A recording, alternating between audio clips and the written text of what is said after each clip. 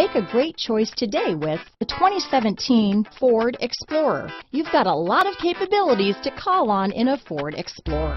Don't underestimate your choices. This vehicle has less than 25,000 miles. Here are some of this vehicle's great options.